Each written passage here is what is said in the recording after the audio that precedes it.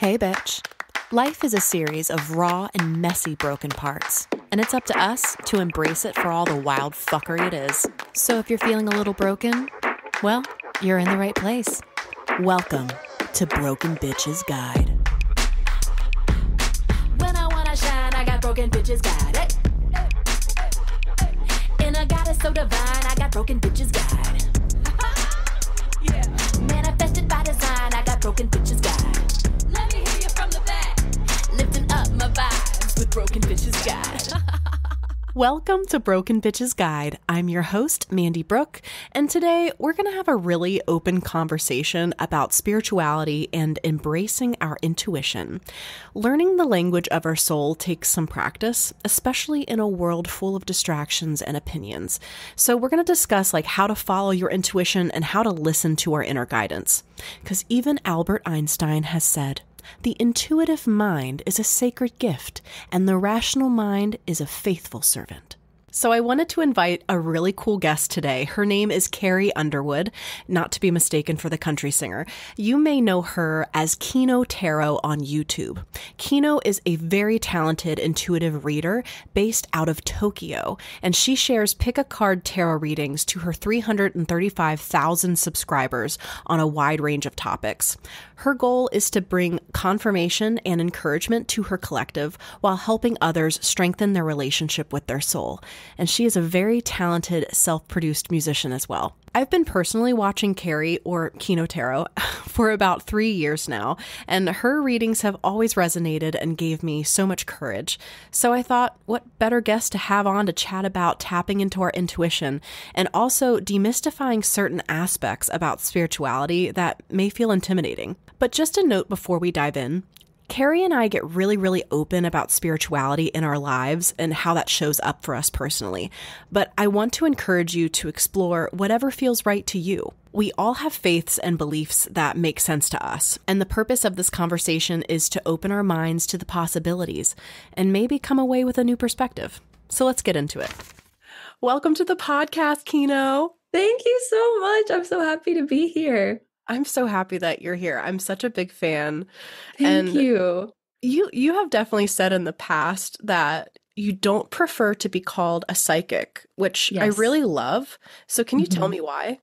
It's just never really a term that I've resonated with because I feel like it creates this sort of distinction where it's like a gift that some people have and some people don't. If I to say I am a psychic implies that there's people who are not and i think mm-hmm. it's just it's just an ability that we all that we all have that we can all tap into and i also believe that when i'm channeling these messages i mean it is it is a gift that i'm tapping into but i don't really see it as like this is my gift that i am bestowing upon you i think mm-hmm. that i'm just i'm just channeling what comes to me and the divine, I think the listener spirit guides often are the ones who are orchestrating the listener's encounter with that message you know mm-hmm. so there's there's something that's greater than us i'm over here talking about whatever i'm talking about and mm-hmm. if someone's spiritual team finds that there is something of value or or this is a good opportunity to re- relay a message to their human i think that they're the ones who are just bringing that together so i, I really do give them the credit for that totally. That's amazing. It's like an orchestra of, of people that are helping us on the other side. yes, exactly. It is happening all the time, all the time. Hey, future me editing here, realizing that we never really got into what spirit guides and a spiritual team is in this conversation. So essentially, imagine your spiritual team as your guides, your angels, your ancestors, and they're all helping and protecting you through this life. So, have you ever had an incident where you missed a car accident because you were two minutes late for work? Or, like my big sister, she fell out of a huge tall tree house and she walked away without a scratch when she was, I think, like four years old. It was insane. It was miraculous. It's times like these where people blame divine intervention. So, the idea of a spiritual team is what if you have spirit guides assigned to you before you start this life cycle? And their job is to help you through this life by giving you signs and protecting you and giving you messages along the way. I feel like that's really my goal with the podcast and with all Mhm. of this is like really to dem- demystify the mystical. Yes. Yes. Because, because I feel like the spiritual community just overcomplicates intuition so much. yes. And like you said, like it is literally available to every single person. You don't Yes. have to be called like a psychic or like an intuitive reader in order to listen to your inner guidance. And I think the Mhm. spiritual community is like, oh, if you think negative thoughts, then you're going to manifest these negative outcomes. And it's like, that's Yes. not the case at all. Yeah, it's so funny. Like I I did know we're going to touch on the topic of intuition today and demystify was the literal word that I wanted to use. Like I want to demystify intuition because I think we can sometimes have this image of it as like this mystical magical power that makes you know everything and you either get it right or you don't. You're either tapped into it or you're not. And it's this like external thing that you have to reach when it's really a very normal, natural, and human thing that is always inside of us. And it's an inner compass. And I think we're actually tapped into it a lot more often than we realize. Mhm. and i hope that people know that you you can be tapped in and you can be on the right path even in the midst of having fears even in the midst of having negative thoughts or or feeling moments of weakness you know? We're we're complex like that and we can do it all and we can do the most amazing things and we can find our right path even when we're having those mental struggles. And i think saying that that somehow like negates your experience or negates your manifestations it just it creates unnecessary pressure and resistance too. yes So, like, how do you tap into your intuition? Like, how do you know when you're tapped in? Because I know a lot of people, they have a lot of anxious thoughts, Mhm. and it's it's really hard to differentiate. Like, is this an anxiety fucking weird thought, or is this Mhm. like an intuitive message? Like, how do you differentiate it? so there's a couple things i do pay attention to the tone of voice so to speak so Oh. i find that my intuition is just very chill very chill very loving so if there's an inner voice that is like screaming at me or an inner voice that is unkind or that is is based in like fear and separation i'm like okay that's not my intuition because my intu- she's like she's chill as hell and the other thing i'm really big on is like uh, observing my body observing where it is in my body so Mm. and you can kind of test it out by saying something that you already know is true and that you already resonate with. For example, if I say, I love my dog or something, I feel that in my in my lower chakras, like in my lower stomach. I even sometimes feel it like this sounds kind of strange, but I sometimes literally feel if a statement feels true to me, that it's like pulling me down to earth. Ooh. I feel like I'm going down into earth and like I'm grounded in that truth. Whereas when something is out of alignment or it's just my anxiety talking, it's very much like up in here, up in my head, my Mhm. shoulder, sometimes like down in my chest area. And it feels, it's not really pulling me in any particular direction. It just feels very frazzled. And then I'm like, okay, that's that's mental chatter. Yeah, like your your intuition's definitely like a subtle whisper for Mhm. sure. Like I I've Mhm. found that too. And my anxiety is often met with like physical physical things like a tight chest, Mhm. that nervous, you know, shaking thing. But Mhm. with your intuition being like that subtle loving voice, Mhm. I've found that too. Yeah. It's so interesting that you feel pulled down to the earth, but that makes so much Yeah. sense. I think it could be different for everyone. I think it's just like knowing yourself and knowing where in your body you're going to feel that and and what it feels like. Um I also feel like there's how do I describe this? You know, like there's me who's like living life and making these choices. And then there's another me who's just observing, who's Your higher just self. yeah, who's just observing my experience, who's not judging, who's just observing it. And when I think about where they are, they are also like down here, Mhm. kind and kind of behind a little bit. Like you Really? can see me right now, but they're almost like behind my lower back, and it's like this little green guy.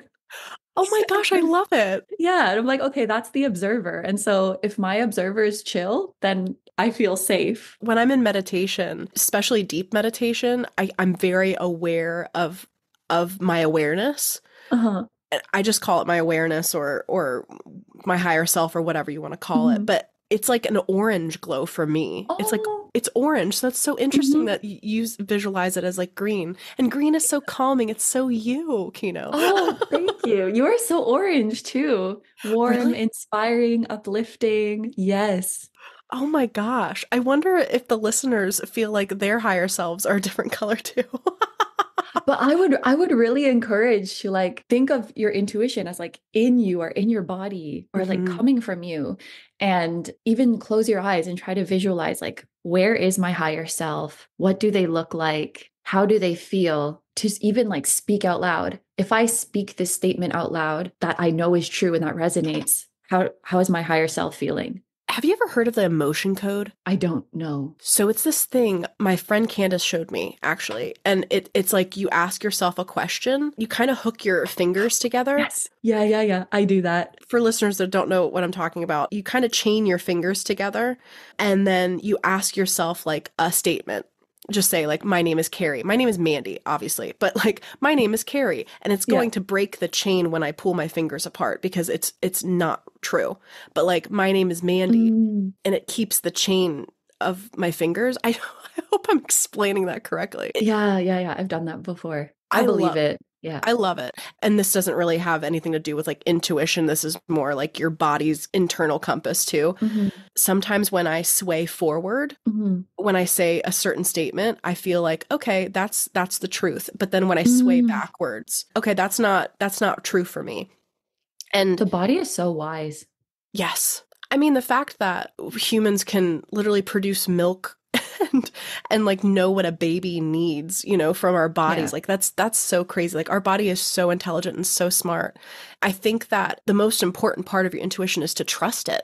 And I feel Mhm. like people don't trust at all at because it's sometimes not what they want to hear. Yeah, it's it's that for sure. I think that being tapped in to our intuition is our natural way of being and it's something we can always come back to and something that's always available for us. But I also think that as we go through life there are different factors that make us start to doubt our judgment whether Mhm. that's being done to us consciously or unconsciously or intentionally or unintentionally. I do think it is something that does happen. But I also think it's really important to remember that even in those moments, we're not really like strayed from it, so to speak. It's not gone. I often think of it as like something at the bottom of the water, and there's maybe sand that got kicked up and the water is muddy, but it's still down there. Absolutely. It's not gone. And we just have to like calm down and wait for all of that mud to clear, and then we can see it. That's so cool because uh, that's why so many religious texts say like be still because how are you supposed to like listen to yourself and listen to your mm-hmm. internal compass when when you're full of distractions and when the dust is kicked up. I love that analogy. I'm such an analogy bitch. Oh my God, me too. I I mean, you you'll know that. I definitely know that. I love your videos so much. But, but the thing that I love so much about your pick a card readings on YouTube, for one, they're so calming to me. You I have really such appreciate that. Thank you. No wonder your higher self is green because it's like you're so calming. You have such a way to deliver your messages. And sometimes I don't even have a pile to pick. Sometimes I'll just like just put on your video when I'm cooking. Oh my gosh. Yeah, and I'll just listen. Just hang out with me. I just hang out with you, girl. And for those of you who aren't really familiar with pick a card readings, readers like Kino will display about three to four piles of cards for a viewer to pick based on what pile they're resonating with, based on a certain topic. Kino, you cover all the topics from like love to general career advice to Mm. like what do your spirit guides need to say, and your your topics always hit. And Oh, thank you. I love it. And A I've lot almost- of them are suggested by the by the community, so that's on them. Oh, They're amazing. really? They they they're always coming up with the most creative ideas and especially on Patreon, oh my gosh, the ideas are so it's such a joy to be able cuz anytime there's like a new interesting topic, I will discover new ways that the cards can be interpreted. And it's just it's so much fun. It's so Oh, much fun. wow. You get oh, like different combinations and I'm like, "Oh my gosh, in the context of this topic, this card seems to be talking about XYZ." And it's it's you know i have a gemini moon so i love like exploring these different varieties and piecing it together it's awesome That's beautiful. I'm a Virgo girl. I I, Mm, I think I'm a Leo. Like, like I'm, my main sign is a Virgo, Mm. and then my other sign Mhm. is a Leo, which makes so much sense because, like, Yeah, I was gonna say that checks out. Ray Um, of sunshine vibes. it's so fun.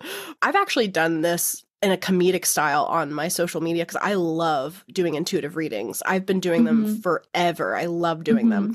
And I have like a very small collective of my followers that that follow this character called Mystic Meg, which I didn't realize was a UK character at all. Like I, I might have to change her name now. Oh, it's a, that's an actual um Apparently in the eight- uh, 90s or 80s, like there was a, a psychic called Mystic Meg in the UK. I, I, I had no idea, but she's a little rough around the edges. You know, she gets the message across with a little comedic style, but um, I love doing it. But with your channel, uh, specifically there's always like very good nuggets of wisdom in all of your videos which i love Oh, thank But- you.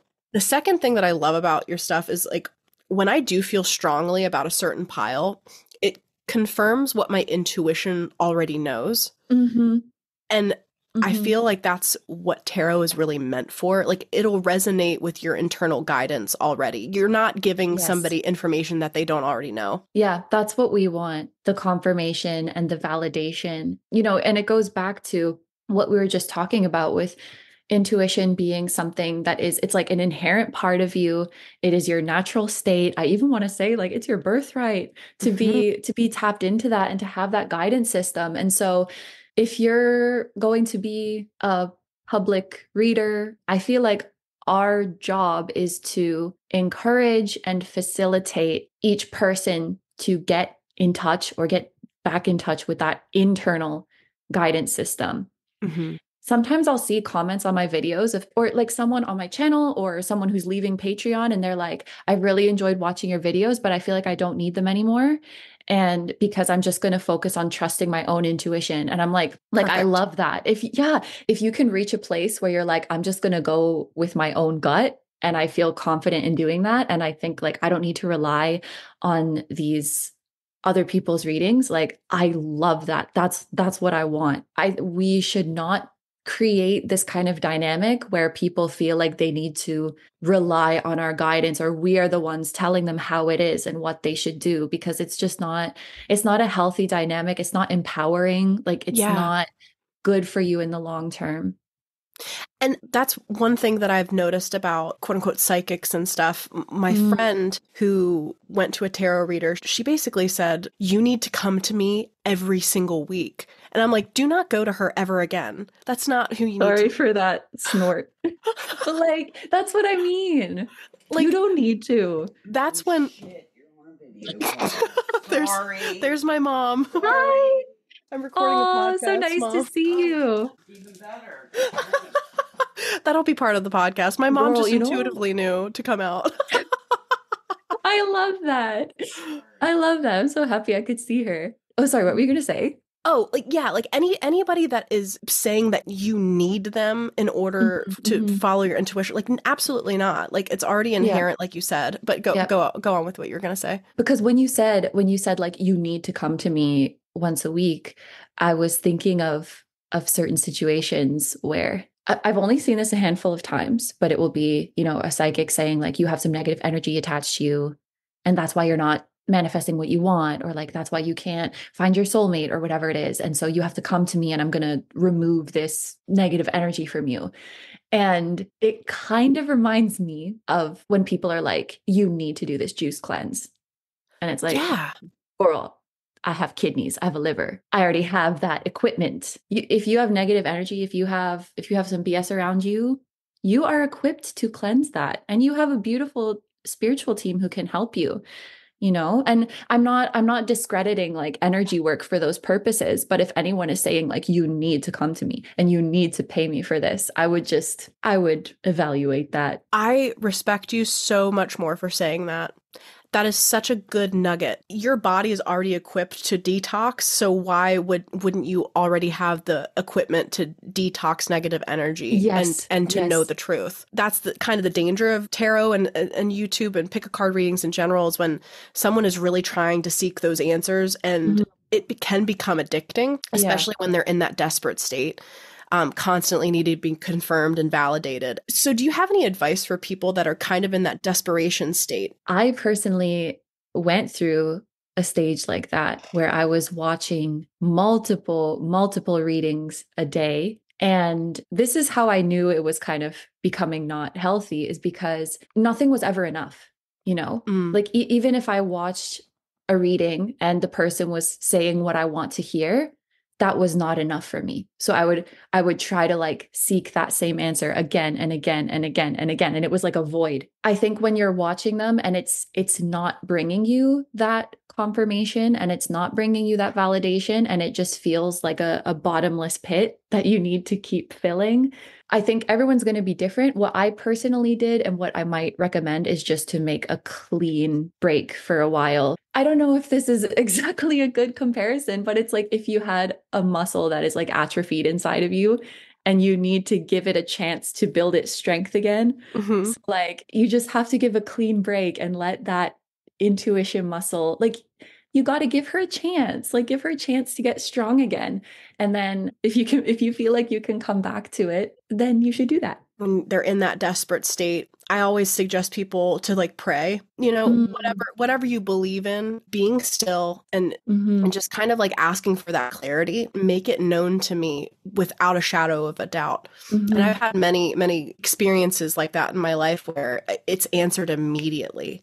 Mhm. I really believe in that. If you make a humble offering Mhm. to whomever you're working with, if you really come in total humility and be like, this is what I'm struggling with, I find that they will respond very quickly. If you just like, if you hand it all over to them. Mhm. Um, I had to do that recently. I think it was retrograde and just a lot of old, intense emotions coming up that I didn't, I did not want to welcome them back into my life, but I was really like, I was really grappling with that. And I just visualized as if I was carrying all of my confusion and distress and uh, struggles like in a bundle. And I just like handed it over and allowed them to light it on fire and like Mhm.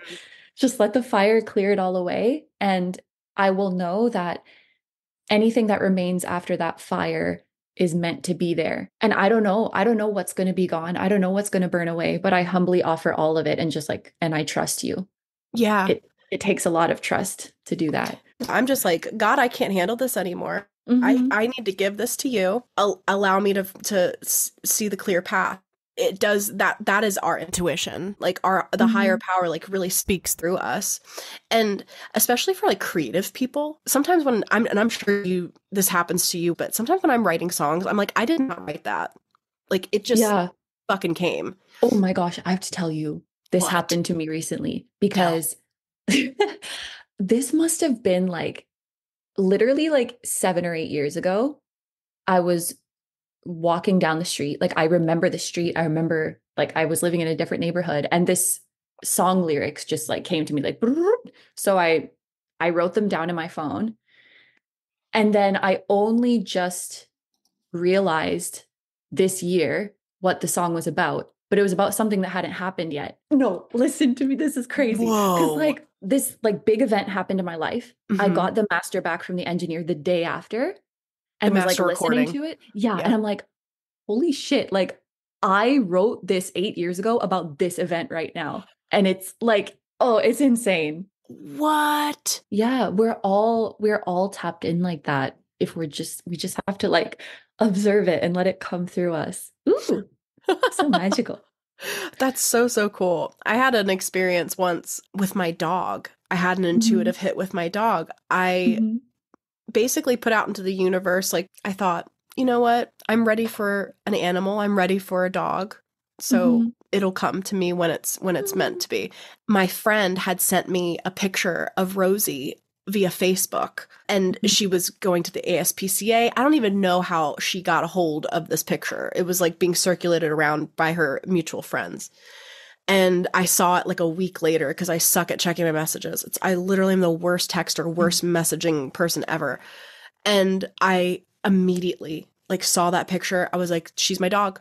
That's her. That's Rosie. That's my baby. Oh. And I knew it. Like I almost started crying because I like I got shivers and goosebumps. And that's another thing too, guys. Like if if you you know when you're intuitively hitting when you start getting goosebumps and like a hair on the back of your neck stands up, like damn. But it was a powerful moment and I arranged the whole pickup like literally in an hour. And I Oh called my gosh. I called my ex at the time, my my husband at that time, and I said, "We're getting a dog tomorrow." And he was like, "What?" and I said, "Trust me, it's it's my dog. It's the dog that I've always wanted. Like I feel so connected to her." And I shit you not, that bitch has not left my side. I Mm. could not live without her. She is just the the light of my existence. I love her so She's much. your soulmate. She is my soulmate. And you know what I've told her so many times when I'm like laying in bed with her? I'm Mhm. like, bitch, if you don't come back to me when you die, I'm going to be so pissed. Like, Oh. and I see her like she looking at will. She absolutely will. I'm like, whether that's in the form of like a hamster, I don't care, but you need to come back to me. Like you are, you are my, you're my soulmate. Yeah. it's just an excellent example when you when you feel that hit coming in and you just go for it. Like your life can change. You just act on it.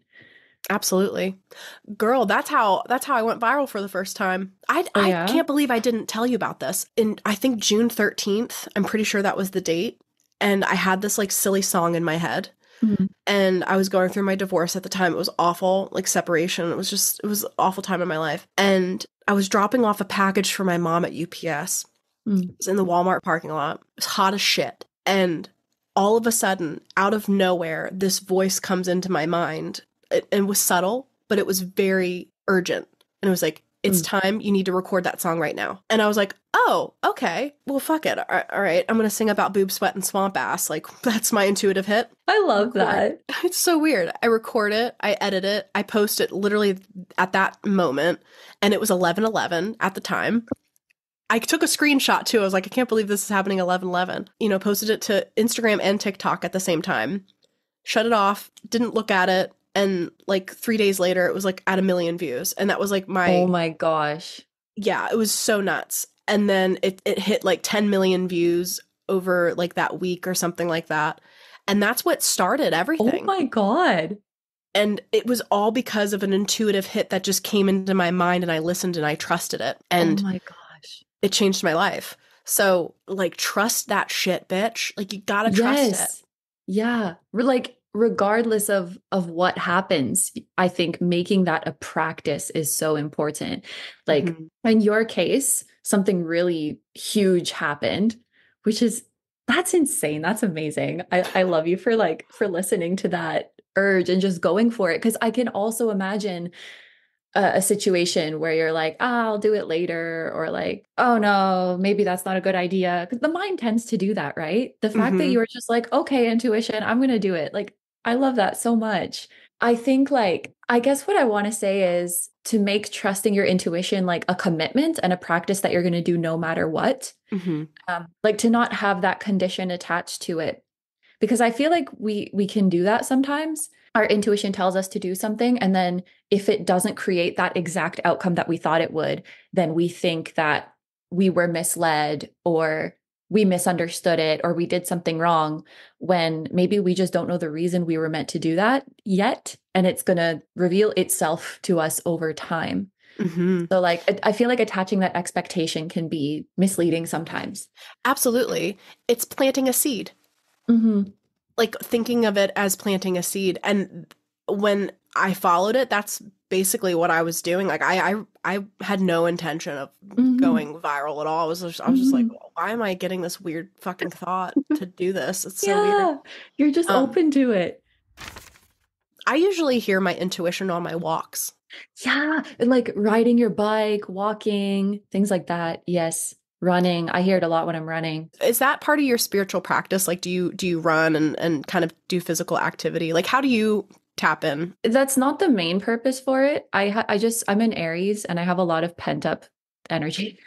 So i love competition so i just compete with myself. It's a very Aries trait. oh god yeah. I'm like and that's that's part of me that i feel like might not really come out when i'm doing my videos because i have this nice like venusian taurus rising and i'm like that's why people think i'm calming but i'm like hot wheels chaotic.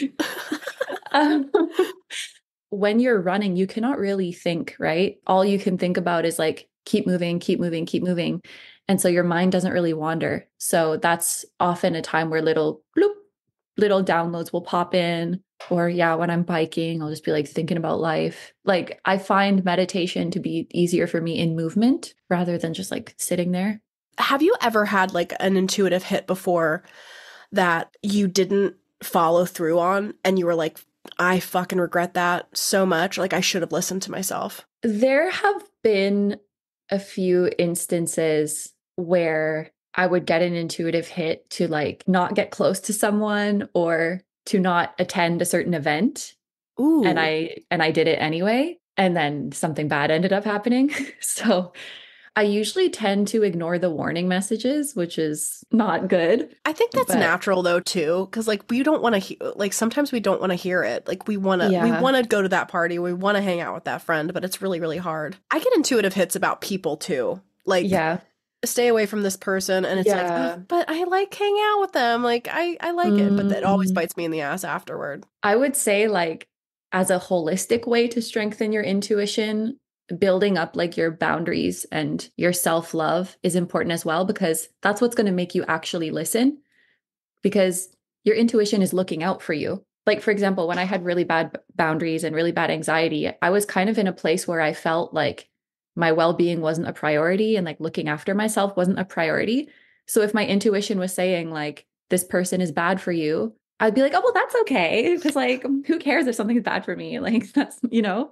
hmm Whereas if I had strengthened my sense of self-love, that would actually have been a priority to to keep my inner peace and, and to keep those energies away from me.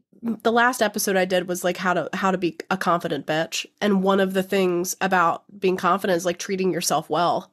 Mhm. And when you treat yourself well, it, everything kind of just naturally comes to pass. Like your intuition, your confidence, yes. it all like connects together. I find it so interesting too that you, you're based out of Tokyo and you had such an intuitive draw to that Mhm. place, even as like a, a kid. So tell me a little bit more about that. Yeah. it's funny. There's a few different things as a kid that that made me drawn to Japan.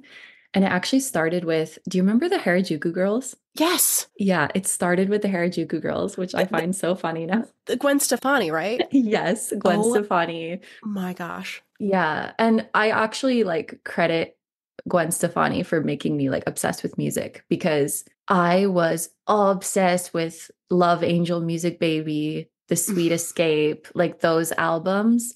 And right around that time, my dad got us a MacBook. So I was like on GarageBand all day, just like playing around with music and like saying random Japanese words. That is beautiful. That's so amazing. That's how it all started. And I had this like character. I pretended to be this like Harajuku rabbit who had like a huge walk-in closet. That was yeah, that was my alter ego. Girl, I you need to bring her back. That's the thing. Like, I'm so pissed because like when I was 10, I would make these songs like as my little Harajuku alter ego. And then when I became like a teenager, I was like, oh, that's so embarrassing. And I like deleted everything. And I'm like, I wish I had that now. I really I feel like there's a collective movement of just not taking ourselves as seriously. yeah, thank I God. really like it. I really like it.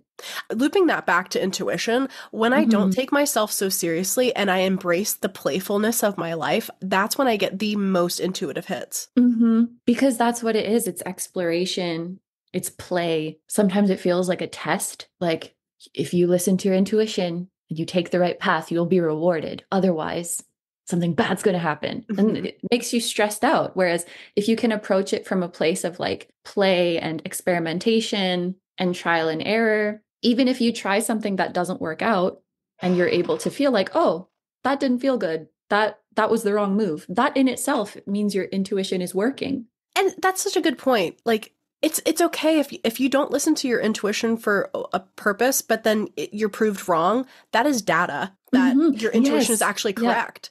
Yes. Yeah. And don't be afraid to be wrong. It's okay. Like it's, it's okay. okay. to be wrong. Yeah. It's completely okay. Again, like kind of looping that back into the spiritual community. Like I, I really feel like there there's so much anxi- anxiety about like choosing the right thing and Mhm. and thinking the right thoughts. And it's really just not really about that. You just got to be playful with it and allow yourself to just be and be still, and then it will come. This was Yeah. a really good conversation. I love you.